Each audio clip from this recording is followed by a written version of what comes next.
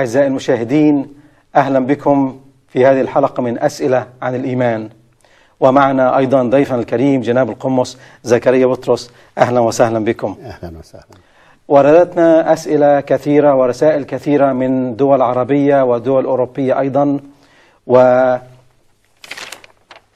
من الناس كانوا مستائين جدا والبعض الآخر كانوا فرحين.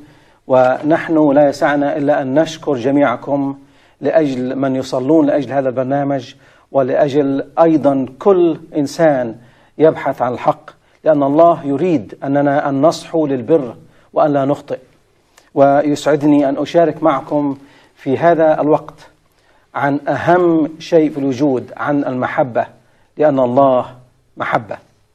إن كنت أتكلم بألسنة الناس والملائكة ولكن ليس لي محبة فقد صرت نحاسا يطن أو صنجا يرن. وإن كانت لي نبوة وأعلم جميع الأسرار وكل علم وإن كان لي كل الإيمان حتى أنقل الجبال ولكن ليس لي محبة فلست شيئا. وإن أطعمت كل أموالي وإن سلمت جسدي حتى أحترق ولكن ليس لي محبة فلا أنتفع شيئا. المحبة تتأنى وترفق وترفق. المحبة لا تحسد المحبة لا تتفاخر ولا تنتفخ ولا تقبح ولا تطلب ما لنفسها ولا تحتد ولا تظن السوء ولا تفرح بالإثم بل تفرح بالحق. وتحتمل كل شيء وتصدق كل شيء وترجو كل شيء وتصبر على كل شيء. المحبة لا تسقط أبدا. نحن نحب المسلمين. لذلك نتكلم عن المحبة. آه إحدى الرسائل آه وردتنا من الدار البيضاء من أحد الإخوة في المغرب يقول إلى الإخوة المؤمنين الساهرين على برامج إذاعة الحياة. سلام الرب عليكم. يسعدني أن أكتب إليكم باسم مجموعة من المؤمنين والذين توصلوا إلى معرفة الحياة الأبدية الحقة والذين لا ينقصهم سوى الحصول على نسخ من الإنجيل المقدس العهد القديم والعهد الجديد. إن عدم توفر نسخ الإنجيل المقدس باللغة العربية يشكل لنا عائقا وحاجزا للتزود من مناهل المعرفة والحياة السعيدة التي وعدنا بها أبانا العظيم. دمتم لنا خير سند ومعين وإلى اللقاء. شكرا إلى الأخ مختار وإلى الإخوة أيضا الذين معك. نحن نصلي من أجلكم وقد أرسلنا لكم كتب مقدسة ونصلي أن الله يستخدم هذه الكتب كيما تعرفوه أكثر. ولكن نتكلم في هذه الحلقة عن الحرية. الحرية حرية الأديان وحرية العبادة وحرية النقد وحرية الفكر. فنتكلم عن إمكانية النقد للإسلام وهناك الكثيرين من المسؤولين ورجال الدين الإسلامي والمسيحي أيضا ووسائل الإعلام في البلاد العربية وخاصة في مصر على هذا البرنامج. أسئلة عن الإيمان. آه الذي يبث من قناة الحياة التلفزيونية وبالذات على شخصكم القمص زكريا بطرس على أنكم تهاجمون الدين الإسلامي بكل معتقداته من قرآن وحديث بل ونبي الإسلام ذاته محمد. فما هو ردكم على هذا؟ يسعدني جدا إن أنا أرد على هذا السؤال الخطير. والحقيقة ليا شوية حاجات عايز أتكلم عنها. تفضل. أول حاجة ليه؟ ليه؟ بيعتبروا الجماعة المعترضين يعني. ليه بيعتبروا إن البرنامج ده هجوم؟ على الإسلام رغم أن اسم البرنامج أسئلة أسئلة عن الإيمان. نعم. الحاجة الثانية يذكروا لي كده في مرة من المرات في حلقة من الحلقات ان أنا هاجمت الإسلام أو النبي. كل اللي إحنا بنتكلمه من الكتب الإسلامية لا أكثر ولا أقل بنقراها عشان المشاهد يسمعها. لأن يمكن عليها تعتيم يمكن هو ما بيقراش ما عندوش وقت. فكل اللي إحنا بنعمله إحنا بنقرأ الكتب الإسلامية نعم. لا أكثر ولا أقل. أنت لا تهاجم ولا تنتقد لكن أنت تقدم حقائق من الكتب والمراجع الإسلامية الموجودة في آه، م- متوافرة. هذا واقع. نعم. وإذا قلت أي كلمة هجومية يقولوا لي أنت في الحلقة الفلانية قلت كذا كذا. نعم. واشوف واوضحها الواقع أني أعتبر تساؤلاتي هذه التساؤلات اللي أنا بقولها هي نفس التساؤلات اللي موجودة في أذهان كثير من المشاهدين. نعم. مسيحيين بل ومسلمين خاصة الشباب المسلم الجيل الصاعد. بس لسبب أو لآخر لا يستطيع المسلم أن يعبر عن رأيه وعن تساؤلاته. فإحنا بنعبر نعم. عن الفكر الحر وبنقول الحاجة اللي في ذهن أحبائنا المسلمين اللي مش قادرين يعرفوها. الحب للمعرفة حبنا للشخصيات اللي عايزة توصل للمعرفة بتخلينا نتبنى دورهم ونتكلم بلسانهم. طيب فرصة جميلة جدا إن الأحباء العلماء الأفاضل يجاوبوا. عشان خاطر يدوا للناس ردود على تساؤلاتهم. وأنا شخصيا أعتبر إنهم هم بدل ما يعترضوا علينا يشكروني. يشكروا البرنامج. ليه؟ لأنه بيفتح مواضيع يتكلموا عنها. فتدي إقناع والناس تقتنع بال... لكن أنا أنا متفق معك في هذا الكلام لأنه قرأت مقالات في جرائد عربية نفس الأسلوب القديم الذي ليس له أي طعم أو نتيجة أنتم آه، صهاينة وأنتم وأنتم وأنتم. كلام ليس له أي أساس من الصحة. وأنا أعلم وأؤكد للجميع أننا لسنا أي علاقة بأي دولة ولا أي قانون سياسي. تفضل. ده بالتأكيد ده بالتأكيد. لكن أنا عايز أقوله إن ما كانش فيه ردود مقنعة على الكلام اللي إحنا بنقوله يبقى اذا هذه التساؤلات أصابت مقتلا. يا ساتر ماذا تقصد بهذا الكلام؟ يعني حتة ما بتتجاوبش عليها. مم. فيعني كتمت الأصوات. لكن لو في ردود منطقية يقولوها في أي قناة يتفضلوا في الاستوديو هنا ويتفضلوا يردوا. يعملوا معنا حوار. نعم. حبي. لأن إحنا هدفنا الوصول لحقيقة عن طريق المحبة. نعم. لا أكثر ولا أقل. طيب اللي أنا عايز أسأله بقى. ليه المعترضين بيحاولوا إن هم يضخموا في الموضوع ويقولوا إنها هيحصل فتنة طائفية. هل معنى هذا إن الحوار المنطقي أصبح فتنة؟ هل التساؤلات أصبحت جريمة؟ هل حرية الرأي وحرية التعبير عن الفكر اللي بتنص عليها حقوق الإنسان أصبحت النهارده لما بتتقال شيء مبغوض مش من حق الإنسان. حرية الرأي.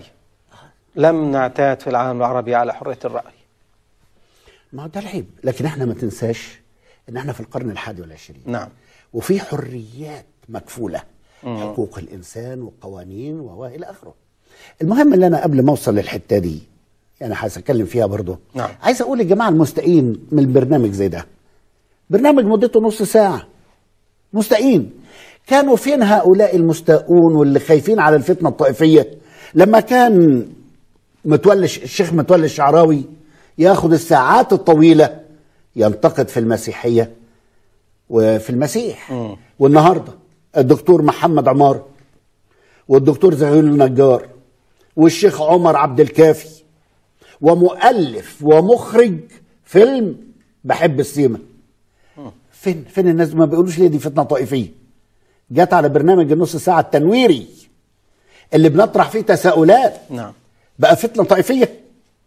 يعني حلال عليهم حرام علينا. حرية الرأي. بيهاجموا من المسيح. تقول لي بيهاجموه إزاي؟ بيجردوا المسيح من اللاهوت. وبيقولوا ده إنسان فقط. إحنا بنقول الله ظهر في الجسد. فلما يقولوا المسيح لا إنسان بس. ده تجريد للمسيح. ده طعن. في عقيدة المسيحية. لما يقولوا كتابكم محرف ده طعن. في عقيدة المسيحية. فلما نيجي نرد على الحاجات دي ونوضح الحقيقة بين إحنا المجرمين. وعجبي. فين حرق الكنائس؟ ما بيتكلموش ليه؟ مم. فين قتل المسيحيين؟ مش فتنة طائفية ليه؟ فين الكشح؟ ماذا تعني بحرق الكنائس وهذه الأشياء؟ الحاجات اللي في مصر مم. يعني الوطن العربي لكن البؤرة الملتهبة مصر مم. كل شوية والتانية حرق كنائس قتل المسيحيين إبادة الكشح قرية في الصعيد ضربوهم وهدوا بيوتهم وقتلوهم واتعملت لهم قضايا وطلعوا أبرياء ومين اللي اتسجن؟ المسيحيين. ليه؟ لأن لا يلام مسلم من أجل المسيحي. فين طب ليه ما أقولوش فتنه طائفية في الحاجات دي؟ اشمعنى الكلام اللي إحنا بنتكلمه لا ضرب ولا سيف وبنتكلم تساؤلات؟ يقولوا عليها فتنة طائفية ويضخموها ليه؟ ترى أين هو الدين الحق الذي يسمح بهذه الأمور كلها بقتل وحرق دين دين مين؟ ما هنرجع تاني ونقول آه، سورة التوبة آية 29 قاتلوا الذين لا يؤمنون بالله واليوم الآخر ولا يدينون دين الحق اللي هو الإسلام من أهل الكتاب. فكأن قتل المسيحي تشريع. مم. تشريع لا يجاز عليه. أيعقل أن الله يريد أن كل إنسان لا يؤمن بالإسلام؟ حكم الموت؟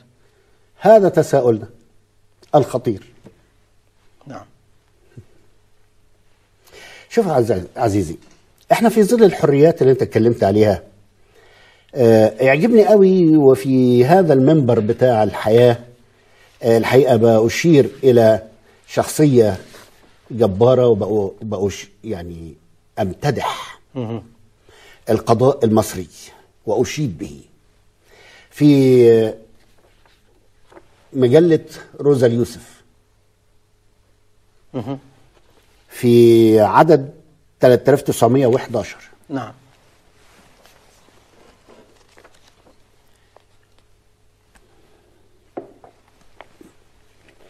بتاريخ 30 5 سنة 2003 نعم.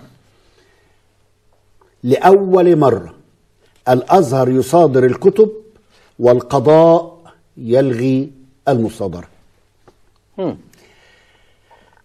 آه، برئاسة المستشار فاروق عبد القادر رئيس المحكمة وعضوية فلان وفلان. يقول لك إيه؟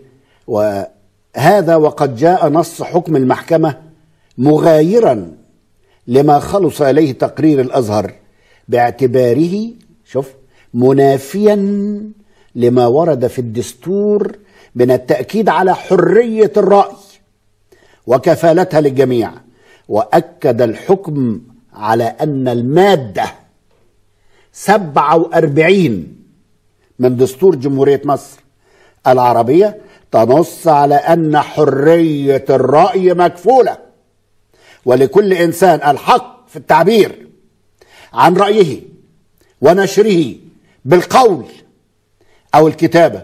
أو التصوير أو غير ذلك من وسائل التعبير. حرية. مم. أنا بأشيد بالقضاء في مصر. ترى هل هذه الحرية موجودة؟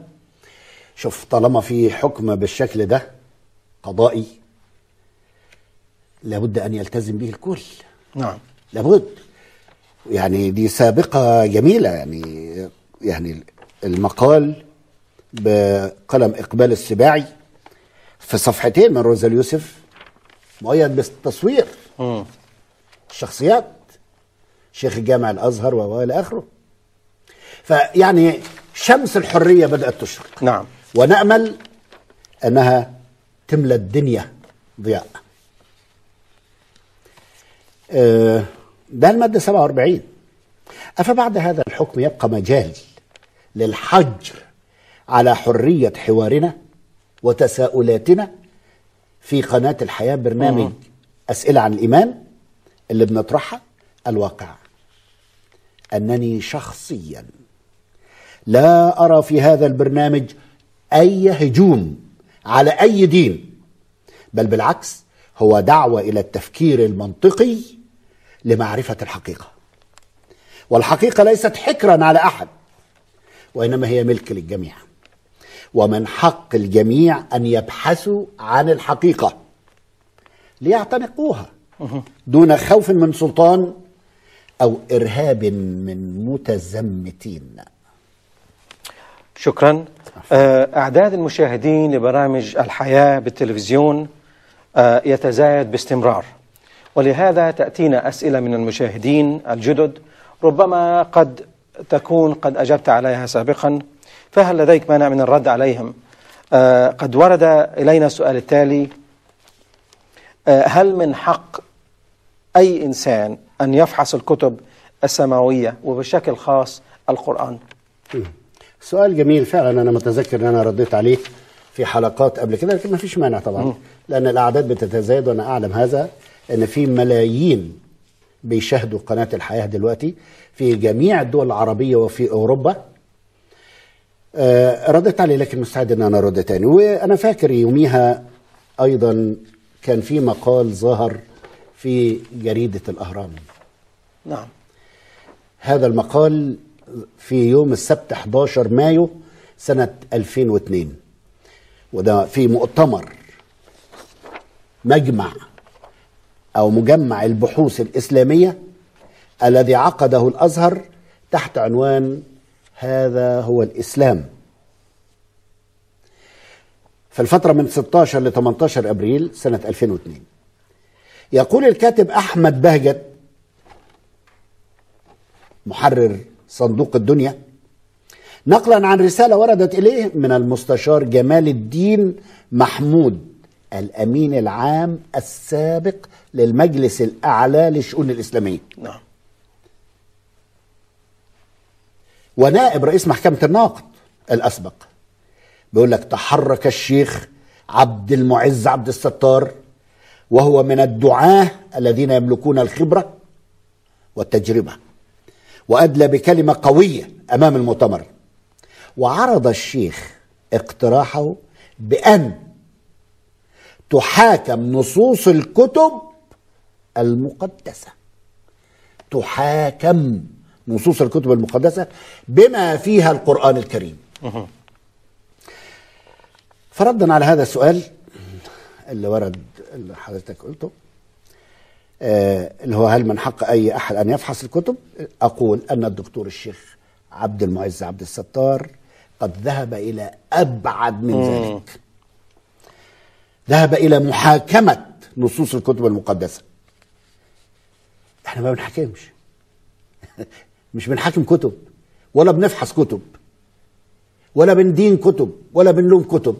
إحنا بنقرأ وبنقول تساؤلات والإنسان العاقل المفكر يشوف إيه الحاجات دي نعم. ويرد عليها. ليه؟ نستطيع أن نتساءل أو نسأل الله وليس هذا حراما. اطلاقا. نعم. ده بالعكس ده, ده السيد المسيح قال فتشوا الكتب نعم. التي تظنون أن لكم فيها حياة أبدية وهي التي تشهد لي مم. فدين بيقول لك فتش نعم فتش لكن أنا بستعجب وبتساءل إزاي في القرآن يقول لك ولا تسألوا عن أشياء إن تبد لكم تسيئكم. واحد بيقول فتشوا مم. وتشهد لي نعم. والتاني يقول لك ما تسألش تساؤل على نعم. يعني تساؤل. نعم. هناك سؤال آخر أيضا آه، يتعلق بنفس السؤال السابق أي. ولكن هذا السؤال بخصوص نبي الإسلام إذ يقول السائل هل من حق أحد أن يفحص حياة النبي محمد؟ أليس في ذلك إهانة لرسول الإسلام؟ صح. أنا برضو جاوبت على السؤال ده مسبقا. قبل كده يعني في حلقات فاتت. لكن فيش مانع إن إحنا نقول برضو للمشاهد الجديد إن الدكتورة عائشة عبد الرحمن اللي هي بنت الشاطئ في ناس بيكفروها دلوقتي. رغم انها استاذة الدراسات القرآنية العليا بجامعة القرويين بالمغرب. آه قالت في الكتاب بتاعها اللي اسمه نساء النبي في صفحة سبعة وثمانية قالت إن طي الأخبار عن حياة الرسول الخاصة لا تقره أمانة البحث. ولا هو من هدى القرآن الكريم. الذي حرص على أن يسجل منها ما يؤكد بشرية الرسول. وتقول أيضا ما كان لي أن أطوي ما لم يطوه الله تعالى عن بيت نبينا في آيات نتعبد بها. فلم يعد شوف شوف العبارة القوية دي. فلم يعد يحل لدارس أن يضرب الصفحة عن ذكرها. مم. لازم يذكرها. نعم. وتسترسل في الحديث وتقول إنني من كل ما تناولت من حياة رسول الله لم ارى في شيء منه قط ما أتحرج من تعريضه لضوء البحث. طيب هم ليه بيلومونا؟ طب ما فيش حاجة ب- يعني تتعرض للبحث بيحصل منها مشاكل ما تتحركش. فيش حاجة تمنع أن تتعرض للبحث. ده بتقول إيه أكتر من كده؟ بتقول وقد كان مرجعي فيها جميعا القرآن الكريم والحديث الشريف ومصادر إسلامية في السيرة والتاريخ لا يرقى إليها شك في حسن المقصد وصحة الإيمان. إذا لما الباحثين أو الباحثون لا يتحرجون من عرض حياة النبي.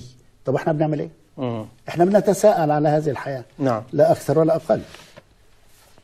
فهل من هذا الكلام إهانة للإسلام؟ رغم أنها إيه؟ تعرضت لزواج الرسول من الطفلة عائشة اللي عندها ست سنوات ودخل عليها لما بقت تسع سنوات. وغير ذلك من المواضيع مواضيع زوجته زينب آه، زو- زوجة ابنه إلى آخره. ولا تضع طير الكتمان. والحقيقة الأمر لا يتوقف على بنت الشاطئ فقط. لكن جميع كتب السيرة النبوية وكتب الأحاديث الصحيحة صحيح البخاري صحيح مسلم ذكرت كل ذلك بكل وضوح. نعم. فلماذا نلام نحن على مجرد تساؤل عن هذه الأمور؟ فهذه المشكلة وبالمناسبة أورد لك قول الكتاب المقدس بخصوص توجيه مثل هذه الأسئلة للمسيحية. نعم. كونوا مستعدين لمجاوبة كل من يسألكم عن سبب الرجاء الذي فيكم. لازم نعم. كل واحد يبقى مستعد للإجابة نعم. تفضل. هناك أيضا السؤال التالي آه، يقول سمعنا شريطا مسجلا لأحد مطارنة الكنيسة موجود على مواقع الإنترنت الإسلامية ويشغلونه في غرف البالتوك وغيرها باستمرار آه، ضد القمص ضدك أنت وضد برنامج الحياة يقول فيه أنه لا يصح لك أن تهاجم النبي محمد فإني أسأل هل يعتبر هذا اعتراف منكم بأن محمد نبي فعلا ولا يصح مهاجمته؟ مم. وما رأيك في هذا الهجوم الذي شنه هذا المطران ضدك أيضا؟ أنا سعيد بهذا الهجوم. مم. لسبب مهم قوي أيوة. أن الكنيسة ملهاش دخل بالبرنامج ده. نعم. ولا تتحمل مسؤوليته. أنا بتحمل مسؤوليته كاملة على عاتقي. فعشان خاطر يظهر قدام الكل أن الكنيسة غير مسؤولة عن برنامجي فهي تهاجمني وتهاجم البرنامج وهذا شيء يسعدني عشان خاطر أنا بتحمل المسؤولية للنهاية. ف وبعدين بقول يعني كن إن هو بيقول يعني إهانة نبي الإسلام بيعتبر إن ده اعتراف منه بنبي الإسلام أنا بعتقد إن ده أمر بعيد جدا عن تصورهم مش ممكن. وبعدين هرجع أقول في النهاية هل فعلا التساؤلات جريمة الحرية مشكلة. بس.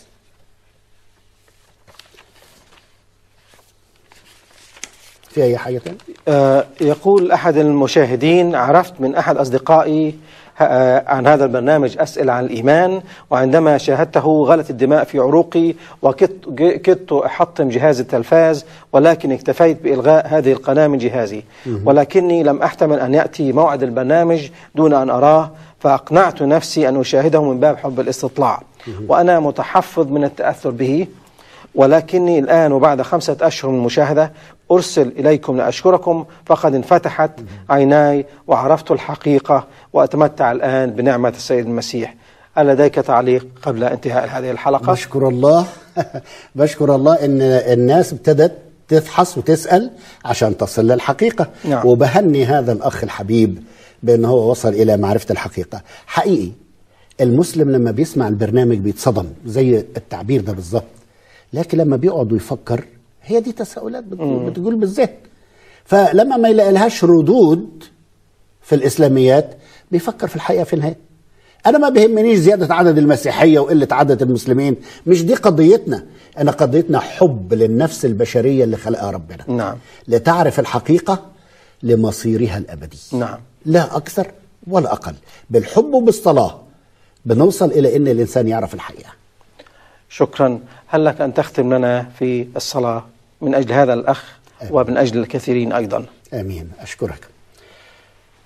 إلهنا الطيب والحنان قد بنشكرك يا رب من أجل هذا البرنامج اللي بيتيح فرصة آه، لأحبائنا وأحباء وأحبائك شخصيا الذين خلقتهم بيديك ودبرت لهم فداء وخلاصا ابديا.